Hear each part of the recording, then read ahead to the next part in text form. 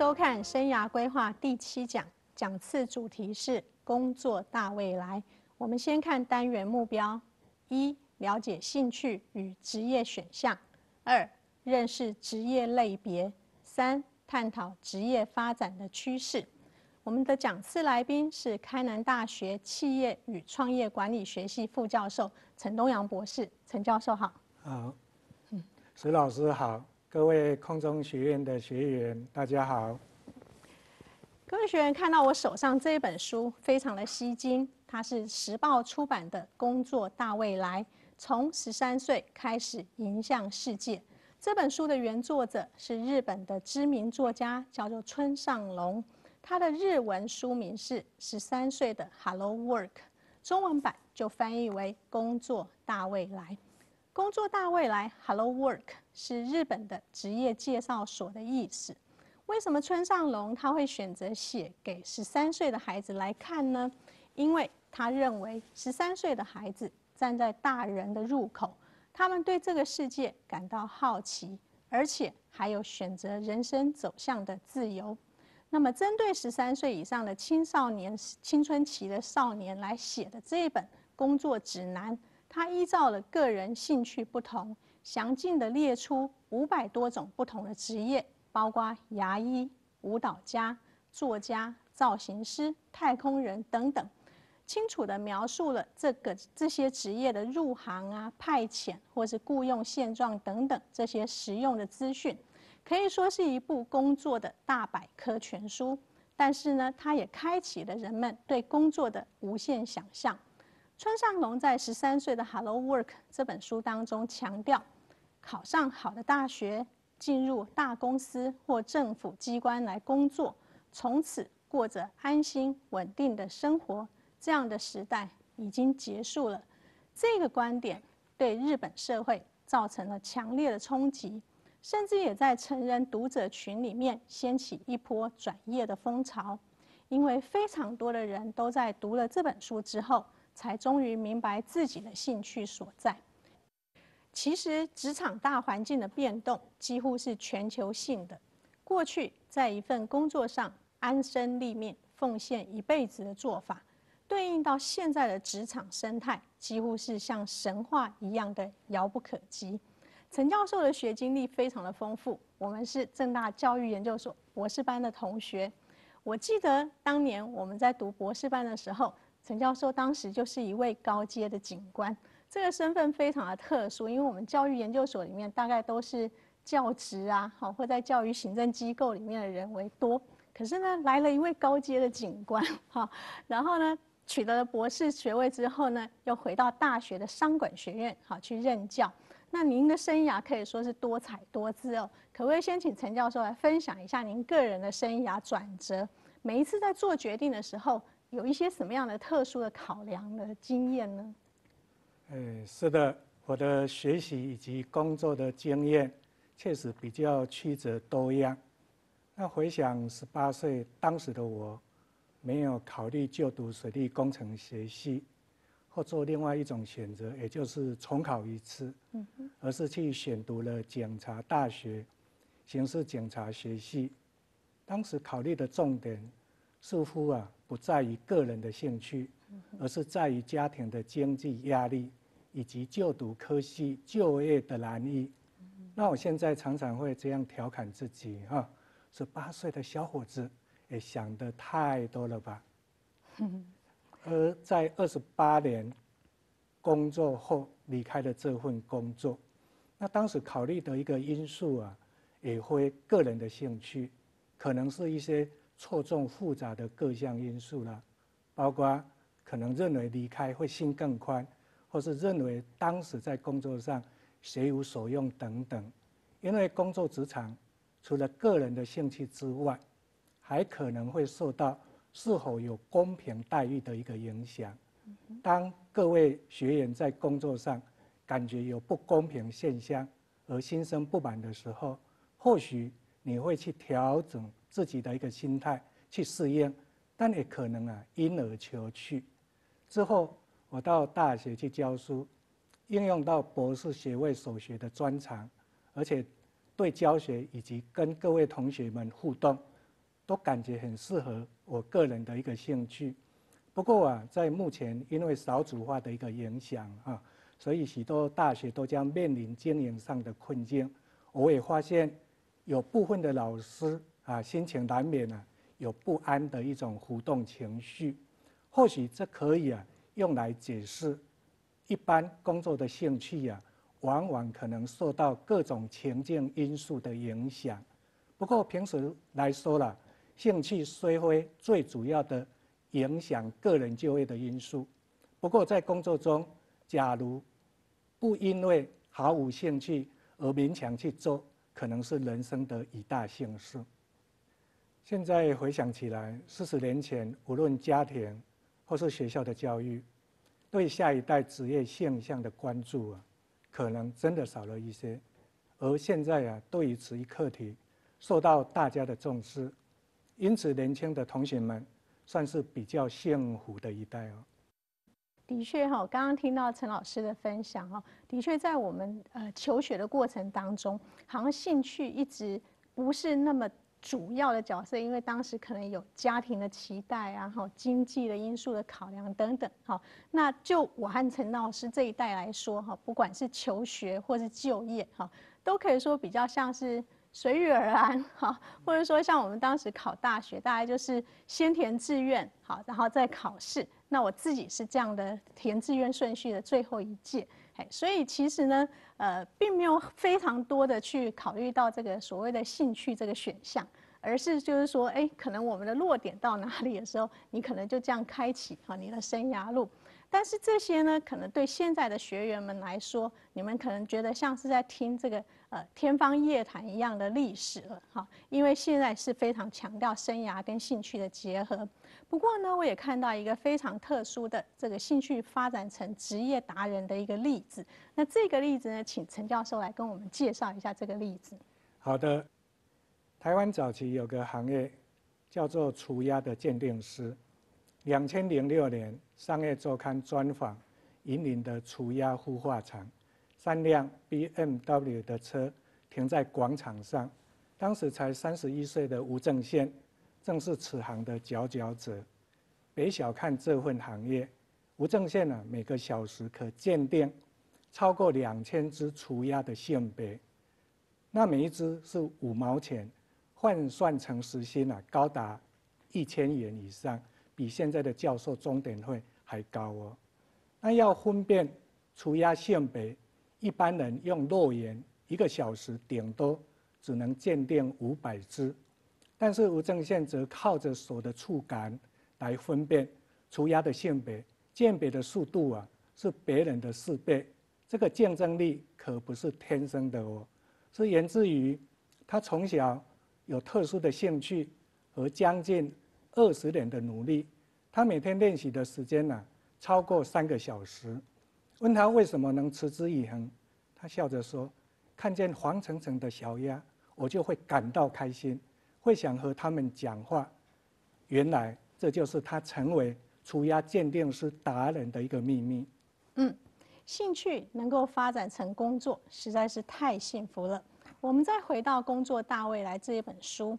两千零六年《商业周刊》的专题报道中指出，世界上只分成两种人：从事自己喜欢而且适合自己工作，并且借此生活的人，以及不是这种人的另外一种人。从十三岁开始呢，就让小孩子能够栽进自己感兴趣的世界里，有朝一日，奇迹就会不可思议的展开。村上红说。如果一定要以某一种方式来获得生活上必要的金钱跟充实感，与其呢心不甘情不愿地从事自己讨厌的事，倒不如选择自己喜欢的事。从日本到台湾，这本书都点出了现代成年人对未来的无力感。随着全球化的激烈竞争，社会结构也产生了剧烈的改变。前面讲过。大公司、好学校、通往好工作这样的一个梯子消失了。过去呢，大家都认为往大家认同的地方去钻，不只能够让这个世界的某处这个太拥挤，而且其实也不是聪明之道。然而，应变的新的梯子梯子在哪里？又该往何处去呢？村上龙认为，十三到二十二岁这段时间的青少年小孩子有旺盛的好奇心，又有逻辑思考的能力，而且没有什么社会压力，可以说是探索兴趣的黄金十年。那这本书的核心概念就是选择喜欢的工作。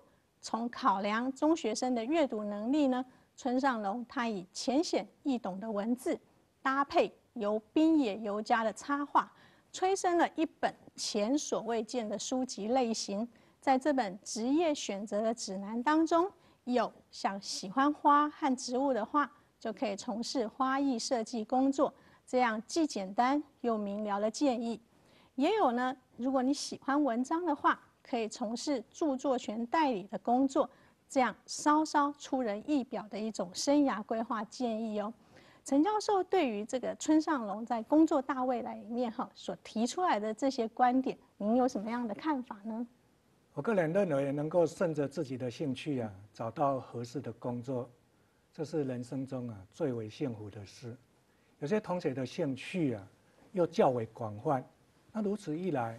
能考虑的工作类别啊就更多，不过啊，在兴趣与工作间，有时也必须啊以现实中其他的因素做一些妥协。比方年轻时，我也想跟同学啊去考外交官，哦不过啊因为父母年纪关系而作罢。那现在有一些朋友因为兴趣从事领队工作，常年在外。之后啊，他有的家庭，面临了取舍的一个困境。其次，了解自己的兴趣在哪里很重要，但是又不是那么容易能够切实掌握的，所以要多花时间来观察自己，来了解自己才行。目前学校里啊，常会提供各种心理测验，请同学们多参与、多体会。那像教育部的。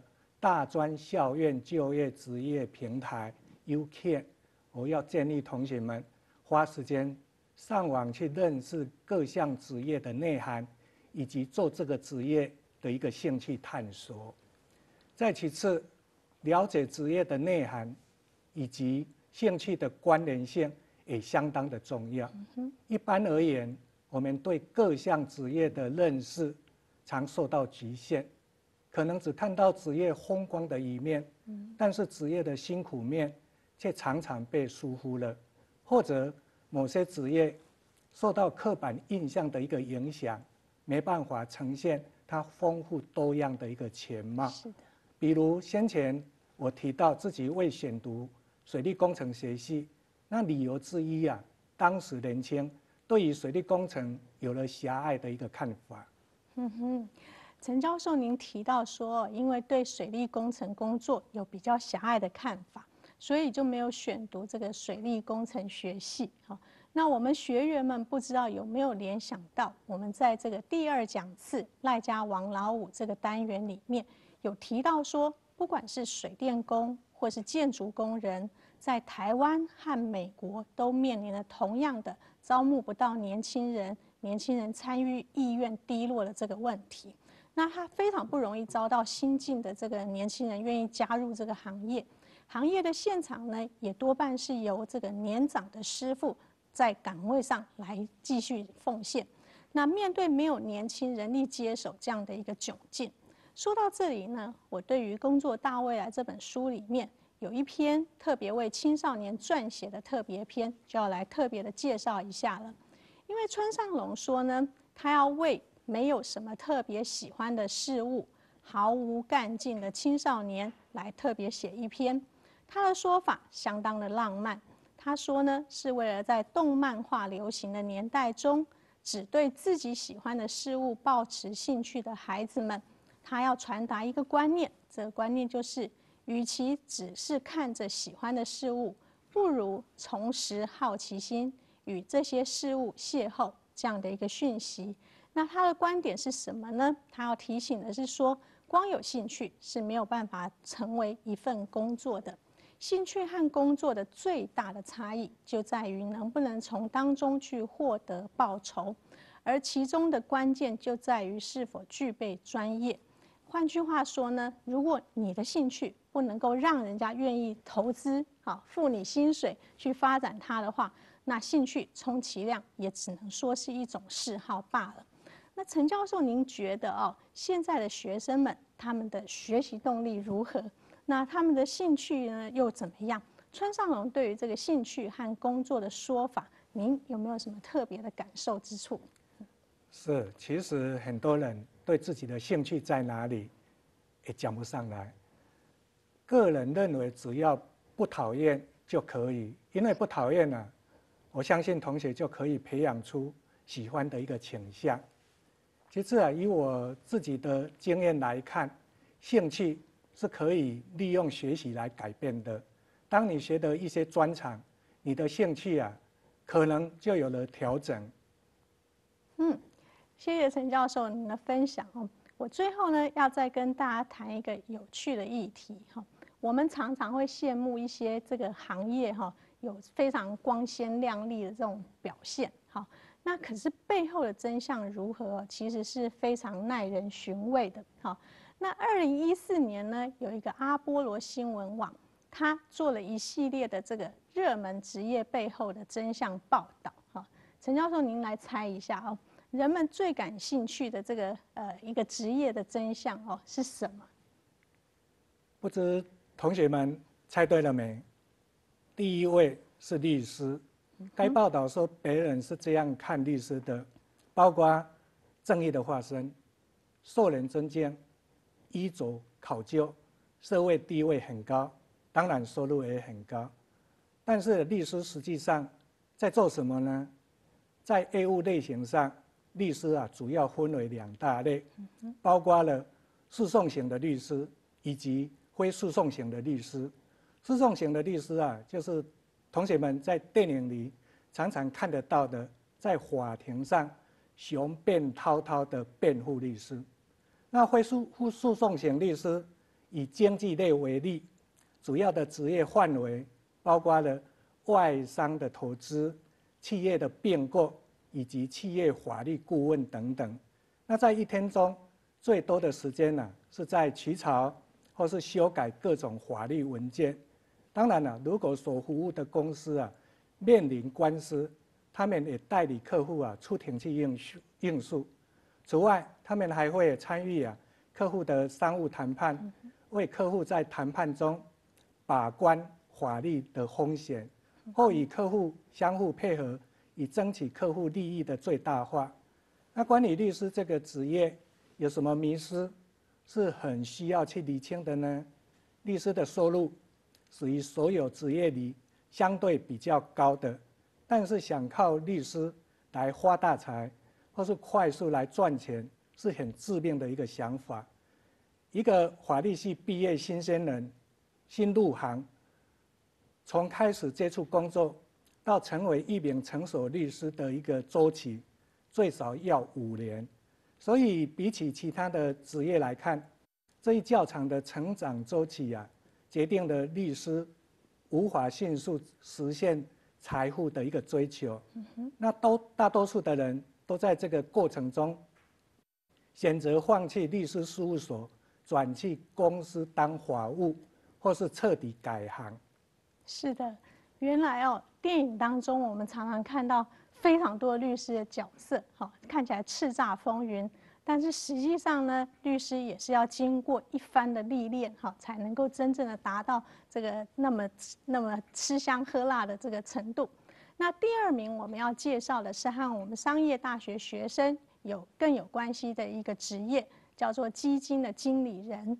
在别人的眼中呢，基金经理人是金融界的精英，他们拥有百万年薪，然后有管理着几十亿甚至上百亿的资金。可以说具有相当神秘的色彩，他们的薪资报酬呢是由市场来决定的。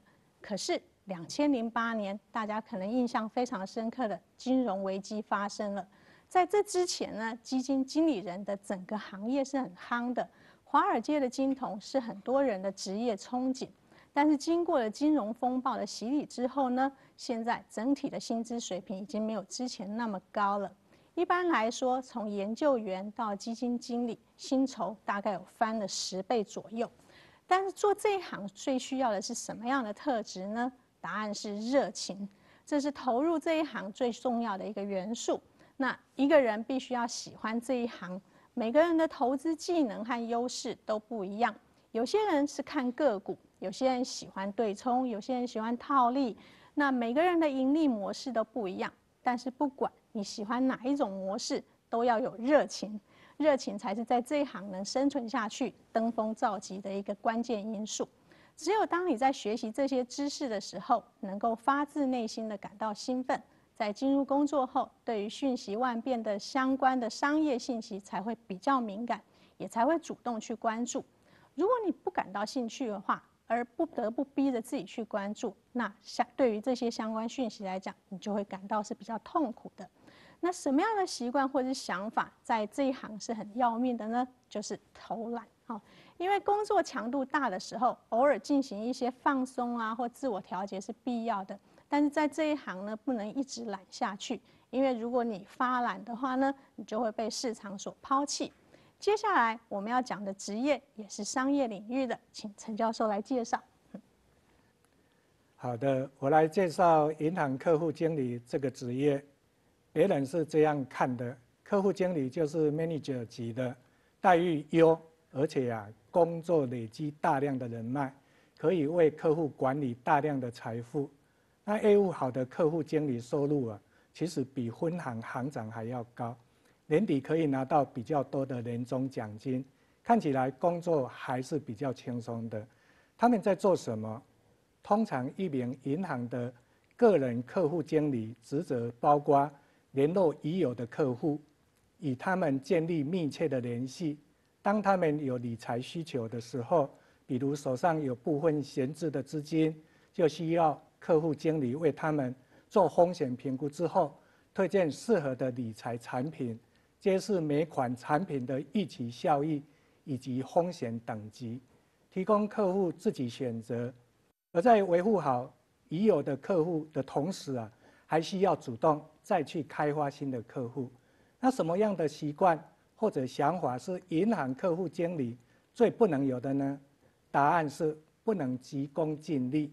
业绩的压力往往会让人非常焦躁不安，而急于促成一笔业绩。那急功近利的同时，往往是一把双刃剑，是最容易犯错的时候。而银行的工作不容有失，一旦产生错误，带来的损失啊是很巨大的。销售的工作只要认真努力去做，多多少少会有一定的回报。而有时候啊，一旦养成一味追求业绩的习惯，利益熏心，很容易啊，在其中迷失了自己，心态也会越来越不端正。过去啊，一些经济犯罪的例子，都是很好的一个借鉴。嗯，是的。接下来呢，我们要来讲一个结合了商业数学和统计的专业，叫做精算师。全国没有多少人有精算师这样的资格，基本上。保险业当中含金量最高的一张证书就是精精算师，那他的稀有人才的成就是高薪，而且非常有成就感，但是他的这个就业的风险比较小，社会认可度比较高，这是一般人对于精算师的一个印象。那可是实际上精算师的这个职业形象是什么呢？在金融行业里面，贫富的差距是非常大的哦。往往初期进入精算师、好准精算师这个行业的时候，薪资是没有那么高的。而随着经验的累积以及工作年资的上升之后，薪级可能呈现的是整几何哈几何级数的上涨。那接下来呢，要再请这个陈教授来介绍。您前面提过，您想要念水利工程没有选嘛？哈，那与他失之交臂这工程师哈，又是一个怎么样的职业真相？讲到工程师，大家可能想到的就是所谓的科技新贵，他们的形象啊是高薪、社会地位高、工作稳定，而且啊职业规划非常明确，也就是说不停在考证，技术本位啊走到哪里都很吃香。不过实际上，台湾过去股票分红、科技新贵，也就是我们常讲的工程师。成为职场当红榨汁机。不过目前来看，好像已经不再那么样的风光。大部分的工程师还是与行业发展息息相关。嗯，是的。那接下来呢，我要来谈一下讲究创意的行业啊，这个职业名称叫做设计师。